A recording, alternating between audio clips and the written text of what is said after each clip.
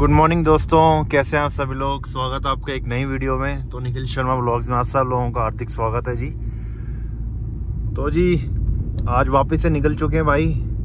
रोहतांग पास का अपडेट देने के लिए आप सब लोगों को। ठीक है जी, और आज है डेट, आप देख लीजिए 6 नवंबर 2024 आपके सामने है और सुबह का टाइम हुआ है अभी आठ। और अभी मनाली में टेम्परेचर है 9 डिग्री सेल्सियस। सुबह सुबह ही निकल गए भाई, सुबह सुबह निकलने का आपको पता ही है, फ़ायदे ही बहुत होते हैं कि आप सबसे पहले तो टाइम से आप पहुँच जाओगे, आप ट्रैफ़िक से बच जाओगे, ठीक है जी? और सुबह सुबह यही होता है जी, जितनी जल्दी आप निकलोगे, उतना जल्दी आपके लिए फ़ायदा है। और हम अभी तो पहुँच चुके हैं भाई, वशिष्ठ चौक, मनाली। ये आप देख लो।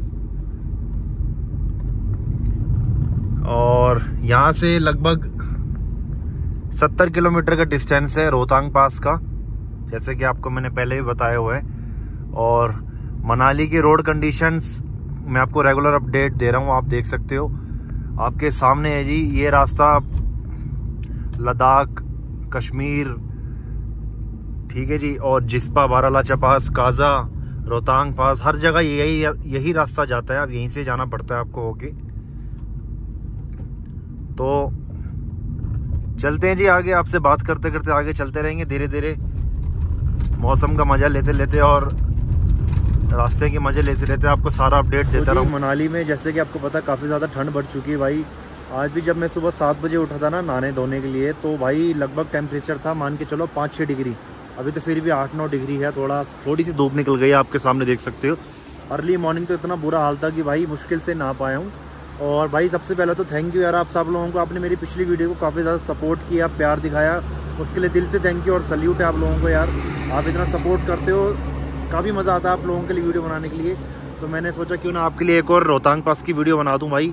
अपनी गाड़ी लेके आ चुके हैं, सामने ब्यास रिवर का फ्लो आप देख सकते हो। कोई यहाँ पे बाढ़ वाढ़ की कोई दिक्कत नहीं है। बहुत लोग गलत वीडियो डालते हैं ना, जैसे कि भाई, मनाली में बाढ़ आ गई, कुछ हो गया, रास्ते बंद हो गए अपने कुछ व्यूज़ के लिए। तो भाई ऐसा कुछ नहीं है आपको एकदम रेगुलर अपडेट लाइव अपडेट दे रहा हूँ मैं छः नवंबर 2024 काफ़ी ज़्यादा ट्रैवलर चल चुके हैं आप देख सकते हो। और टूरिस्ट काफ़ी ज़्यादा आ चुके हैं और ये व्यू देखो कितना बढ़िया बढ़िया व्यू आता है ऊपर से थोड़े हाइट पे आके मैं वीडियो शूट कर रहा हूँ। यहाँ से पूरा गोल चक्कर मार के यहाँ से आगे जाते हैं और यहाँ से लगभग पलचान है अब दो से ढाई किलोमीटर। और भाई ये है कुछ अब अभी तक तो का अपडेट एक छोटा सा अपडेट देने के लिए आपको बता रहा हूँ कि जैसे ये रास्ता जो है ना पीछे से जब आप मनाली से आते हो ये रास्ता जो राइट को जा रहा है ये भी जाता है मन, अपना रोहतांग पास वाया गुलाबा और मणि होते हुए ठीक है जी? और सामने जो है वो तो खैर अटल टनल आपको पता ही है। तो मैं तो ज़्यादातर प्रेफर करता हूँ कि अटल टनल से ही जाऊँ। ठीक है जी? बाकी इस रास्ते से भी कभी ना कभी पक्का चलेंगे। और यहाँ पे देख लो जी सामने पलचान गाँव आ चुका है। ठीक है जी जहाँ पे आपको पता है अभी कुछ टाइम पहले बाढ़ आई थी और बहुत ज़्यादा नुकसान हुआ था लेकिन सल्यूट है भाई हमारे बीआरओ वालों को। उस ऑर्गेनाइजेशन ने इतना तगड़ा काम किया है कि भाई इस रास्ते को बंद नहीं होने दिया। चंद घंटों में या फिर मुश्किल से एक दिन में इसको भाई मतलब कि गो थ्रू कर दिया ओपन कर दिया। पीछे आप देख सकते हो राइट लेफ़्ट साइड में कितने ज़्यादा पत्थर है मोटे मोटे ये मोटे मोटे पत्थर ना भाई पूरे रास्ते में आ रखे थे और पूरे ब्रिज के ऊपर आ रखे थे। तो आप लगाओ अंदाज़ा कि कितना तगड़ा यहाँ पे बाढ़ आई थी और नुकसान तो खैर काफ़ी ज़्यादा हुआ नहीं था, थोड़ा बहुत नुकसान हुआ था, जान माल का तो खैर नुकसान नहीं हुआ था। लेकिन ये है कि टल गया जो भी था। बाकी भाई, आप देखो सामने रोड कंडीशन कितनी प्यारी है और मौसम बहुत खूबसूरत है भाई। बहुत खूबसूरत मौसम है। अभी हम और 10 से 12 मिनट में पहुँच जाएँगे अपना सोलांग वैली। ठीक है जी, पलचान से सोलांग वैली तक आपको मुश्किल से मुश्किल 10-12 मिनट लगेंगे। लो जी, पहुँच चुके हैं भाई सोलांग वैली। ये आपके सामने सोलांग वैली है और ये यहाँ पे कुछ नज़ारे हैं सोलांग वैली के सुबह सुबह। लगभग साढ़े आठ बजे का टाइम है जी अभी। मनाली से सोलांग वैली का डिस्टेंस लगभग बारह तेरह किलोमीटर है और आपको मुश्किल से मुश्किल पच्चीस मिनट लगेंगे। ठीक है जी, और अभी तो खैर आपको पता सुबह सुबह का टाइम था। कोई ट्रैफ़िक बिल्कुल भी नहीं था तो आधा घंटा लगा मुझे भी पच्चीस मिनट पहुँचने में। और भाई, ये कुछ व्यू है यहाँ पे, आपको पता है भाई जब यहाँ पे स्नो पड़ती है ना जो जो सलोंग वैली आ रखा है।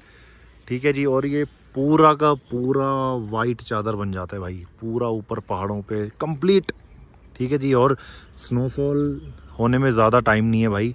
कभी भी स्नोफॉल हो जाएगी, जैसे ही पहाड़ों पे स्नोफॉल हुई ऊपर रोहतांग पास, और यहाँ पे स्नोफॉल दिसंबर में पूरे पूरे चांसेस हैं, हो सकती है।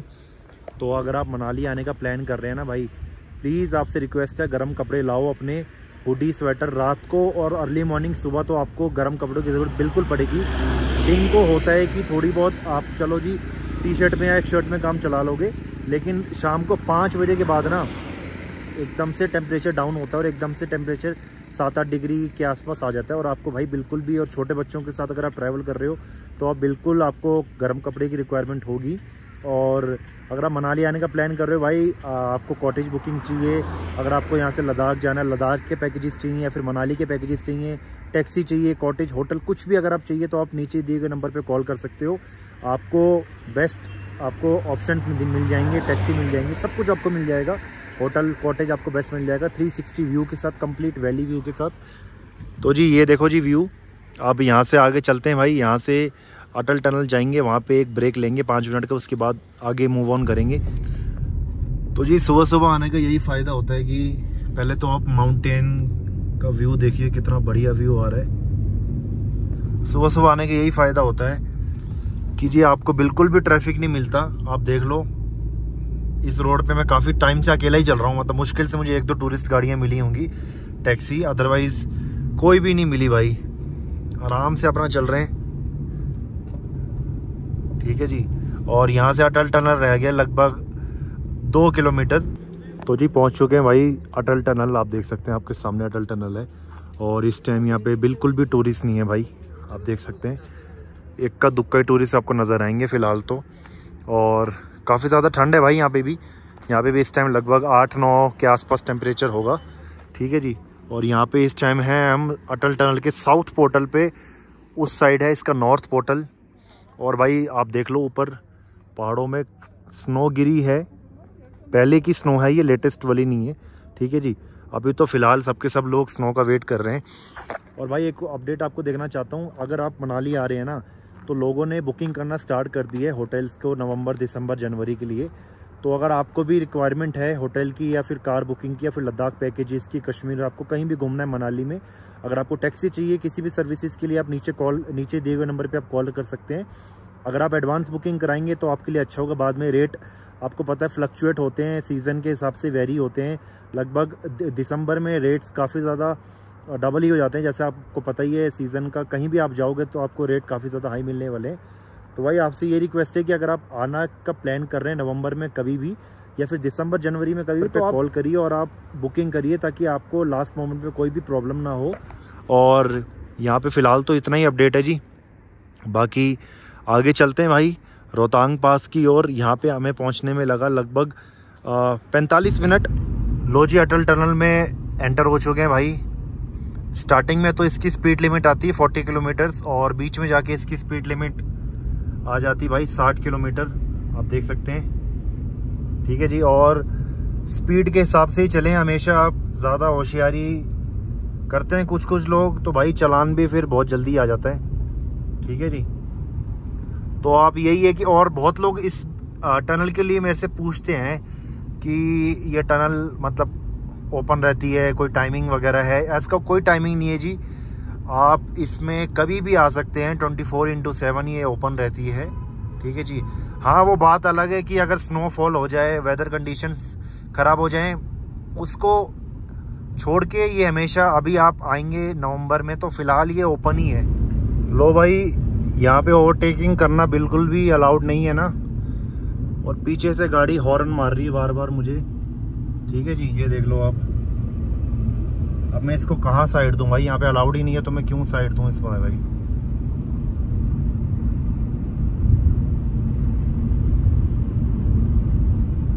ये देखो, बार बार डिप्पर मार रहा है भाई। जाने देते हैं भाई इसको। वैसे रास्ता तो यार, जगह बनेगी नहीं भाई, मैं तो ऐसे रिस्क ले नहीं रहा। क्या फ़ायदा, गाड़ी वैसे भी यहाँ पे एक टाइम पे है कि कोई बाइक वगैरह होती है तो बंदा पास भी दे सकता है। अब ये डिप्पर पे डिप्पर मार रहा है, इसको पता नहीं है इतना भाई कि यहाँ पे अलाउड नहीं है और फिर भी एकदम चिपका के रखी हुई गाड़ी देखना भाई। कैसे लोग यार ऐसा बिल्कुल भी मत करा करो भाई। एक जब यहाँ पे अलाउड है नहीं, सब कुछ मना कर रखा है। तो रूल्स के हिसाब से चलो ना। इतना ही जल्दी है तो भाई साइड में रोड है जाओ, वहाँ पे जाके। ये देखो, फिर हॉर्न मार रहे हैं। अबे भाई, रुक जा दो चार किलोमीटर ही रह गया। चले जाना आगे मेरे भाई। भाई, मैं तो साइड दूँगा नहीं क्योंकि भाई और आप भी साइड मत देना भाई ऐसे लोगों को, ठीक है ना? दो किलोमीटर रह गए यहाँ से और इस भाई को सबर नहीं हो रहा कि भाई दो मिनट रुक जाए। दो किलोमीटर, दो तीन मिनट में कवर कर लोगे। और हॉर्न पे हॉर्न मारे जा रहा है भाई।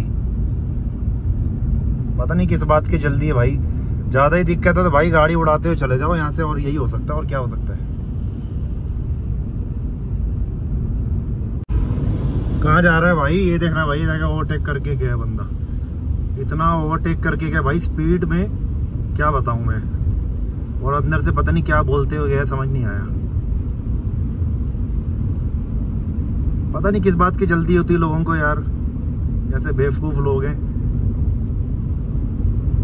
इतनी जल्दी है तो भाई और जल्दी आके छः बजे आके चले जाया करो ठीक है? और दूसरे लोगों को परेशान मत करा करो ठीक है भाई? और आप भी भाई अगर वीडियो देख रहे हो ना तो प्लीज़ कभी भी ऐसे लोगों से डरना मत हॉर्न मार रहे हैं तो आप साइड से तो आपके चक, आप साइड देने के चक्कर में कुछ उल्टा सीधा हो जाए तो फिर दिक्कत हो जाएगी। आराम से चलो अपना इनको अगर ज़्यादा जल्दी है तो भाई चले जाएँगे आगे कोई बात नहीं। लो जी इसी के साथ अटल टनल भी कंप्लीट कर लिया हमने 10 मिनट में। ठीक है जी? और ये लो जी। यहाँ पे देखो क्या बढ़िया मौसम है। ऐसी कड़कती धड़कती धूप निकली हुई है ना। ये है जी अटल टनल का नॉर्थ पोर्टल।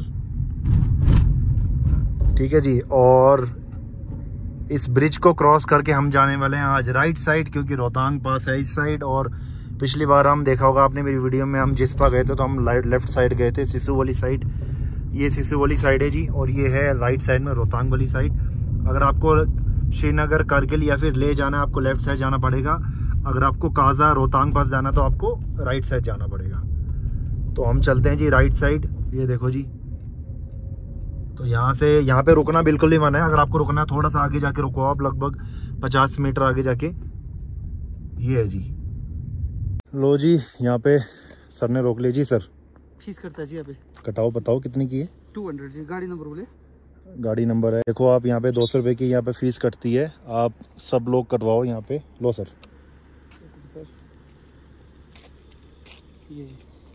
ये सीसी साइड भी चलेगा ना जी अच्छा ये सीसू साइड भी जा सकते हैं इसके? ये दोनों सेम ही तो ये कितने दिन का पहले एक ही दिन का एक ही बार होता है? चौबीस घंटे का होगा जी। अच्छा, ये- आज पूरा दिन कल भी। अच्छा कल भी पूरा दिन। जी। लो भाई, देखो भाई, यहाँ पे जैसे कि मैं आपको पहले भी दो तीन बार दिखाया हुआ है। ये आपको गाड़ी का कटेगा नंबर जी, और non H P non H P की गाड़ियाँ कटती हैं यहाँ पे मतलब जो एच पी रजिस्ट्रेशन नहीं है, ठीक है जी? तो दो सौ रुपये की है भाई, यहाँ पे आप सबसे यही है कि भाई यहाँ पे कटवाओ, बिल्कुल, ठीक है जी? बिल्कुल कटवाना चाहिए भाई, ताकि डेवलपमेंट अथॉरिटी ऐसी कोई सरकार का, या ऐसा कुछ गलत नहीं है कि भाई बिल्कुल आपको पर्ची काट के देंगे। और पूरे 24 घंटे के लिए वैलिड है। कल का पूरे दिन चलेगा, ये कह रहे हैं। ठीक है जी? तो चलते हैं जी यहाँ से। अब लगभग अटल टनल को क्रॉस करने के बाद ये आपकी पर्ची कटेगी दो किलोमीटर के बाद। और यहाँ से कोक्सर रह गया जी सात किलोमीटर। ठीक है जी? और आगे चलते हैं भाई। रोड के नज़ारे आप देख लो। बहुत बढ़िया रोड बनाई है बी आर ओ वालों ने। मैं बार बार ज़िक्र कर, इसलिए करता हूँ क्योंकि भाई, जो चीज़ तारीफ़ के लायक है, उसको तारीफ़ करनी चाहिए, बिल्कुल। यहाँ पे पहले, आज से सात आठ साल पहले क्या रोड होती थी, बहुत लोगों को पता ही है, और आज क्या रोड है। तो बहुत लोग बोलते होंगे बार बार बी आर ओ वाला बी आर ओ की तारीफ़ करता रहता है। तो भाई, वो इसलिए क्योंकि यार, अब देखो, इतनी अच्छी रोड है, हम सबके लिए बनाई है ना तो हम लोग इजीली ट्रेवल कर सकते हैं। ठीक है ना? और ये रोड बहुत टाइम में बनती भाई, बहुत मेहनत से ये रोड बनी, बनाई जाती है, जैसे कि आपको पता ही है। और उसी के साथ फिर हमको गाड़ी चलाने में मज़ा भी आता है, मक्खन ड्राइविंग करने में मज़ा आता है। ठीक है जी? तो इसलिए भाई टैक्स वगैरह जो भी होता है, हमेशा कटवा लेना चाहिए। या फिर टोल वगैरह, वो हमारे लिए ही होता है। लो जी, पहुँच चुके हैं कोकसर। और कोकसर में यहाँ पे चेकिंग हो रही है। जो आपने परमिट लिया है, उसकी चेकिंग करेंगे यहाँ पे। यहाँ पे आगे ट्रेवलर खड़े हुए हैं, आप देखो। लो जी कोकसर में परमिट चेक करा के आगे बढ़ चुके हैं और आपको कोकसर में ना काफ़ी ज़्यादा आपको खाने पीने के ऑप्शन मिल जाएँगे। ब्रेकफास्ट डिनर यहाँ पे ना आप कर सकते हैं लंच वगैरह। चाय, मैगी, पराठा, कुछ भी आपको कॉफ़ी वॉफ़ी अगर थोड़ा बहुत लेना है तो आप ले सकते हैं। और चलो जी, चलते हैं आगे और अभी आगे ग्रामफो आएगा। ग्रामफो में भी चेकिंग होगी हमारी। मतलब परमिट चेक होगा। परमिट भाई आप हमेशा लेके चलें साथ, क्योंकि विदाउट परमिट आपको यहाँ पे आगे नहीं जाने देंगे। रोहतांग पास के लिए, ठीक है जी? और परमिट की कॉस्ट मैं आपको बता देता हूँ, साढ़े छः सौ रुपये है परमिट की कॉस्ट रोहतांग पास की। वैसे तो साढ़े पाँच सौ अगर आप खुद निकालते हैं, अगर आप किसी के थ्रू निकलवाते हैं तो सिक्स फिफ्टी है, ठीक है जी? और दो सौ रुपये की जो पर्ची कटती मैंने आपको, वो पहले ही एडवांस में बता दी है। आप देख सकते हैं जी। और यहाँ के खूबसूरत नज़ारे तो क्या ही कहने यार, वादियों में आने के बाद यहाँ पे रोहतांग पास की दूरी है 19 किलोमीटर अभी, और आराम से चल रहे हैं, और अभी हमारी गाड़ी चल चुकी है घर से लगभग 45 किलोमीटर। और जी, कुछ टाइम के बाद रोहतांग पास भी ऑफिशियली क्लोज हो जाएगा, जब यहाँ पे हैवी स्नोफॉल होगी ना तो फिर बिल्कुल क्लोज कर देते हैं इसे। फिर आना थोड़ा सा मुश्किल होता है। तो आपके लिए तभी मैं लाइव वीडियो बना रहा हूँ, ताकि आप तक प्रॉपर इन्फॉर्मेशन पहुँच सके। और यार प्लीज़ चैनल को सब्सक्राइब कर दो और शेयर भी कर दो अपने फ्रेंड्स कलीग के लिए। मैक्सिमम कमेंट्स करो, ताकि मैं भी आपके लिए और ज़्यादा अच्छी वीडियोस बनाता रहूँ आगे फ्यूचर में। मेहनत लगती है काफ़ी ज़्यादा वीडियो बनाने में। स्पेशली ऐसा नहीं होता कि बस गाड़ी उठाई और चल दी भाई, और बस कैमरा ऑन किया। पूरी स्ट्रेटेजी करनी पड़ती भाई कि कब जाना है, कैसे जाना है, कैसा मौसम होगा, कैसा नहीं। तो काफ़ी ज़्यादा मेहनत लगती है भाई। तो आपसे भी एक रिक्वेस्ट है कि प्लीज़ आप ना वीडियो को सब्सक्राइब कर दो चैनल को सब्सक्राइब कर दो वीडियो को शेयर कर दो मैक्सिमम अपने कलीग्स के साथ, ताकि और प्यार दिखाओ यार, ज़्यादा से ज़्यादा। बस मैं तो यही बोलूँगा, ज़्यादा से ज़्यादा प्यार दिखाओगे तो आपका भाई आपको और भी ऊंचाइयों पे ले जाएगा, आपके साथ आपको वर्चुअल ट्रैवल कराऊँगा मैं और आपको प्रॉपर इन्फॉर्मेशन देता रहूँगा, ताकि आप भी अगर मनाली आएँ या फिर कहीं भी आएँ आप मेरी वीडियो देख कर तो आपको प्रॉपर इन्फॉर्मेशन मिल सके और मैं आपको बिल्कुल ग्राउंड रियलिटी दिखाता हूँ। भाई, ऐसा नहीं कि यहाँ पे मतलब कि अच्छा मौसम है तो मैं बोल दूँगा कि भाई बारिश हो रही है, मत आओ। प्रॉपर आपको एकदम ट्रू इन्फॉर्मेशन मिलेगी। मेरे चैनल पे इस बात का मैं हमेशा से मैंने पहले भी प्रॉमिस किया, आपको मैं अभी भी प्रॉमिस करता हूँ। हमेशा आपको बढ़िया बढ़िया कंटेंट मिलते रहेंगे बढ़िया बढ़िया आपको वीडियो बना के देता रहूँगा जी। बस एक रिक्वेस्ट है कि आप प्यार दिखाओ ज़्यादा से ज़्यादा यार, और बाकी प्यार दिखाओ और यहाँ पे नज़ारे भी देखो जी। कितने बढ़िया नज़ारे हैं और काफ़ी ज़्यादा हाइट पे आ चुके हैं हम, और इस व्यू के तो क्या कहने यार। हर मोड़ पे ना ऐसा लगता है कि बस गाड़ी रोक के इनको देखते ही रहो, और इतने बेहतरीन बेहतरीन व्यू है ना। ये देखो, ऐसा लगता है ये व्यू ज़्यादा अच्छा है। फिर अगले मोड़ पे ऐसा लगता है कि ये व्यू ज़्यादा अच्छा है और बहुत अच्छा है यार व्यू आप देखो। और चलते हैं जी आगे लगभग 17 किलोमीटर 16 किलोमीटर अभी डिस्टेंस है रोहतांग पास का।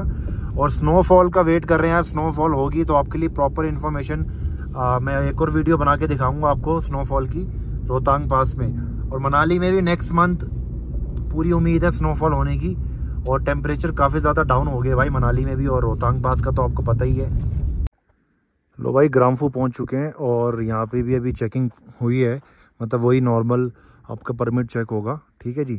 और ये रास्ता जो नीचे को जा रहा है ना भाई, ये जाता है काज़ा ठीक है जी काज़ा ये रास्ता जाता है और काज़ा भी जल्द ही जाएँगे, लेकिन यहाँ का रोड काफ़ी ज़्यादा ख़राब है भाई। पर कोई बात नहीं, जल्दी एक बड़ी गाड़ी लेके जाएँगे भाई। ये गाड़ी तो नीचे लगने के काफ़ी ज़्यादा चांस होते हैं। हो सकता है इसको ही ले जाऊँ, कोई बड़ी बात नहीं है। बाकी ये जाता है भाई काज़ा रास्ता, ठीक है जी? और चंद्रताल तो फ़िलहाल बंद है। और भाई यहाँ पे अभी मौसम काफ़ी ज़्यादा ठंडा है और ठंडी ठंडी हवा चल रही है भाई यहाँ पे ना। और काफ़ी ज़्यादा मज़ा आ रहा है यार ड्राइविंग करने में। आपको पता ही है, पहाड़ों पे ड्राइविंग करने का कितना ज़्यादा मज़ा है। चलो जी, आगे चलते हैं। यहाँ से अभी रोहतांग पास है, पंद्रह किलोमीटर। और जी, अटल टनल क्रॉस करने के बाद भाई नेटवर्क बिल्कुल उड़ जाते हैं जियो के और एयरटेल दोनों के। तो नेटवर्क वगैरह नहीं आते हैं बिल्कुल तो आप उसी हिसाब से प्रिपेयर होके होके आना। ठीक है जी? और रोहतांग पास पे तो खैर बिल्कुल ही नहीं आते। लो जी, पहुँच चुके हैं भाई रोहतांग पास तो famous Rohtang pass you are at thirteen thousand fifty eight feet तेरह हज़ार आठ अट्ठावन फीट पे पहुँच चुके हैं भाई। और हवा का अंदाज़ा तो आपको हो गया होगा भाई। कितनी तेज़ हवा जहाँ पे चल रही है अभी। ठीक है जी, यहाँ पे इनको देख के आप अंदाज़ा लगा सकते हो। और लो जी। टूरिस्ट थोड़ा बहुत आना स्टार्ट हो गया भाई, अभी सुबह सुबह का टाइम है ना। अभी और ग्यारह, बारह, एक बजे तक। यहाँ पे पूरा पैक हो जाता है मतलब सारी गाड़ी ही गाड़ी अभी थोड़ा बहुत आपको जगह दिख रही है जो बिल्कुल ही पैक हो जाती है। और ये है जी, खाने पीने के ऑप्शन मिल जाएँगे आपको, कुछ पानी, बिस्कुट, मैगी ऑमलेट वगैरह। और लो जी, लो। रोहतांग पास, तेरह हज़ार अट्ठावन फीट पे। अभी हम खड़े हुए हैं और यहाँ पे आके भाई ज़्यादा एक्टिविटी मत करना। मतलब एक्टिविटी से मेरा मतलब है ज़्यादा उछलना, कूदना मत, भागना, दौड़ना मत, क्योंकि सांस चढ़ जाती है। ठीक है? और बहुत से लोग ये बोलते हैं कि भाई पहली बात तो मैंने टोपी पहन ली क्योंकि काफ़ी ज़्यादा ठंड लग रही है और बीमार बिल्कुल भी नहीं होना भाई। और बहुत लोग ऐसा वीडियो बनाते हैं कि भाई यहाँ पे मतलब सांस चढ़ जाती है, ऑक्सीजन सिलेंडर लेके आना, ऐसा कुछ भी नहीं है भाई। छोटे छोटे बच्चे मैं आपको दिखा दूँगा, अभी आ रखे छोटे छोटे बच्चे भी आ रखे हैं और ऐसा कुछ नहीं है।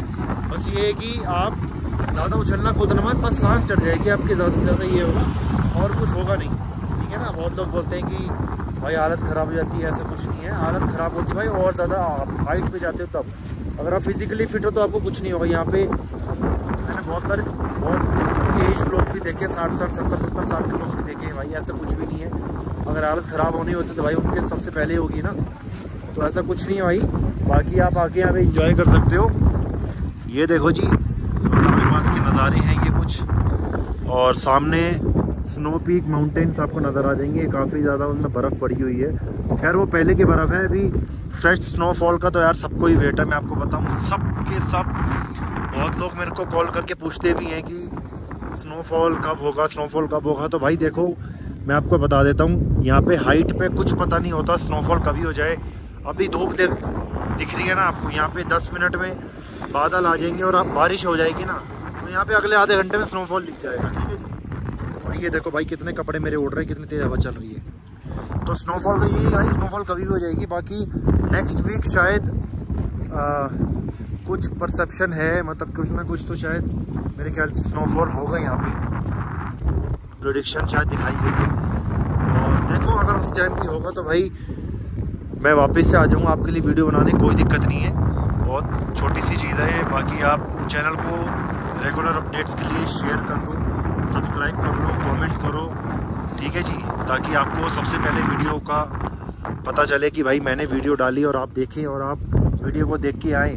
और सारी एकदम सही इन्फॉर्मेशन आपको देने की कोशिश मैं हमेशा करता हूँ मेक श्योर हमेशा सही इन्फॉर्मेशन देता हूँ। देखो भाई छोटे छोटे बच्चे आ रखे हैं यहाँ पे।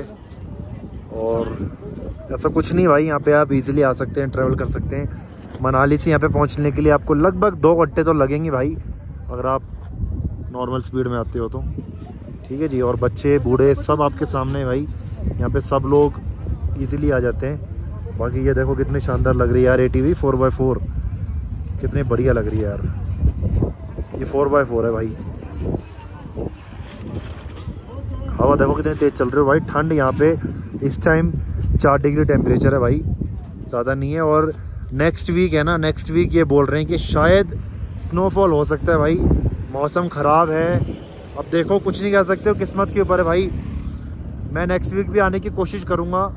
पक्का आपको अपडेट दूँगा एक बार, ठीक है जी? तो देखते हैं उस टाइम स्नोफॉल होगा तो आप सबके सामने होगा। नहीं होगा तो भी आपका सबके सामने ही होगा जी। और उसके लिए रेगुलर अपडेट्स के लिए मेरे चैनल को प्लीज़ सब्सक्राइब कर लीजिए आप। लो जी, गर्मा गर्म मैगी आ चुकी है भाई। एकदम गर्मा गर्म। और भाई, पिछले दस मिनट से मैं बाहर खड़ा हूँ ना, इतना ठंड है, इतनी ठंड है ना, मैं आपको क्या बताऊँ। बोला भी नहीं जा रहा और हाथ पाँव सब सुन हो गए हैं। इतनी धूप होने के बावजूद भी इतनी ठंड है भाई। क्या बताऊँ मैं आपको। बहुत ज़्यादा ठंड है भाई, एकदम कुल्फी जम गई है, बोला भी नहीं जा रहा अब तो। चलो जी, इसको इन्जॉय करते हैं और फिर चलते हैं मनाली की ओर। लो जी, लगभग पौने ग्यारह बजे भाई हम रिटर्न कर चुके हैं मनाली की ओर। ठीक है जी? और कैसी लगी जी आपको वीडियो? प्लीज़ कमेंट करके बताएँ आप। सब्सक्राइब करें चैनल शेयर करें वीडियोस मैक्सिमम अपने कलीग्स को फ्रेंड्स को, अपने नॉन में जितने भी आपके लोग हैं। और यहाँ पे यार एक चीज़ मुझे थोड़ी लगती है कि यहाँ पे वॉशरूम होना चाहिए। ठीक है जी वॉशरूम होना चाहिए भाई मेल फीमेल दोनों के लिए, ताकि खुले में लोग अवॉइड करें वॉशरूम करना। क्योंकि मैं देख पा रहा था बहुत लोग खुले में वॉशरूम कर रहे थे। ठीक है, और भाई पंद्रह नवंबर तक पूरे पूरे चांसेस हैं कि यहाँ पे ऑफिशियली रोहतांग पास को क्लोज कर दिया जाएगा। तो 15 नवंबर से पहले अगर आप रोहतांग पास प्लान कर रहे हैं तो आप इजीली आ जा सकते हैं और ग्यारह बारह नवंबर को प्रिडिक्शन है कि स्नोफॉल होगी। प्रिडिक्शन है जी, कोई कंफर्म नहीं है, मैं आपको पहले ही बता रहा हूँ। प्रिडिक्शन है स्नोफॉल हो सकती है। मौसम ख़राब है उस दिन, आप चेक भी कर सकते हैं गूगल में। और मौसम ख़राब है तो भाई प्रिडिक्शन यही है कि स्नोफॉल होगा। अब आगे वही बात आ जाती है जी, किस्मत पे है बात। बाकी टूरिस्ट है भैया, थोड़ा साइड हो जाओ। रोड पे बिल्कुल ही आके फ़ोटो मत खिंचवाओ यार। रोड तो चलाने, गाड़ी चलाने के लिए होती है। ये देखो भाई साहब हमारे कहाँ खड़े हैं। तो भाई मैं बात कर रहा था प्रिडिक्शन है कि स्नोफॉल हो सकती है। बाकी मैं भी आने की कोशिश करूँगा जी 12 नवंबर के आसपास वापस से एक बार। आज तो 6 नवंबर है। 12 नवंबर को आने की कोशिश करूँगा, देखूँगा। अगर स्नोफॉल की चांसेस होंगे ना तो मैं ज़रूर आऊँगा एक बार वापस से आपके लिए अपडेट लेकर। ठीक है जी? बाकी भाई, रोहतांग पास आने से पहले ना बिल्कुल आप पैक होके आना मतलब स्वेटर जैकेट अच्छे से इनर वगैरह ना, गर्म कपड़े पहन के आना अच्छे से कैप वगैरह बिल्कुल भी। भाई, यहाँ पे आप बच्चों के साथ आ रहे हैं या फिर अपने किसी भी एज लोग के साथ आ रहे हैं ना तो आप रिस्क मत लेना, क्योंकि यहाँ पे ठंड बहुत होती है और बीमार हो जाओगे। जल्दी से लोग बीमार हो जाते हैं, ठीक है जी? तो भाई, चलो जी, चलते हैं। मनाली की और आपको वीडियो कैसी लगी प्लीज़ लाइक करो कमेंट करो शेयर करो। एंड मनाली अगर आप प्लान कर रहे हैं, लद्दाख प्लान कर रहे हैं, या फिर कश्मीर प्लान कर रहे हैं, ये देखो भाई इनको। थोड़ा साइड हट जाओ भाई। या फिर आप कश्मीर प्लान कर रहे हैं, ठीक है जी? तो आपको पैकेजेस चाहिए अगर, या फिर अगर आपको टैक्सी की रिक्वायरमेंट है तो हम आपको पैकेजेस बना के देंगे, हम आपको बेस्ट टैक्सी सर्विस प्रोवाइड करेंगे। उसके लिए आपको क्या करना है, उसके लिए आपको नीचे तो स्क्रीन पे नंबर फ्लैश हो रहा है, इस पर आपको कॉल करके बुकिंग करवानी है मनाली की। या फिर अगर आप मनाली रोहतांग पास प्लान कर रहे हैं टैक्सी अगर आपको चाहिए, ठीक है जी? और कश्मीर कंप्लीट आप, हम आपको पैकेज बना के देंगे, लद्दाख का पैकेज बना के देंगे टैक्सी सर्विस प्रॉपर एक एक चीज़, ठीक है जी? और सारी ऑथेंटिसिटी के साथ हम आपको पैकेज बना के देंगे। तो आपको नीचे दिए गए नंबर पे आपको कॉल करना है जी। आपको अपनी रिक्वायरमेंट बतानी है और हम आपको बढ़िया सा एक पैकेज बना के देंगे। और मनाली में भी कॉटेज की रिक्वायरमेंट है तो आप नीचे दिए गए नंबर पे सेम नंबर पे आप कॉल कर सकते हैं। आपसे मिलते हैं जी नेक्स्ट वीक वापस एक बहुत बढ़िया वीडियो के साथ। ठीक है जी? तो तब तक मेरे चैनल को सब्सक्राइब कर लो भाई फॉलो कर लो, ताकि आने वाले अपडेट आपको रेगुलर मिलते रहें। और ठीक है जी। Good luck take care bye bye thank you so much for supporting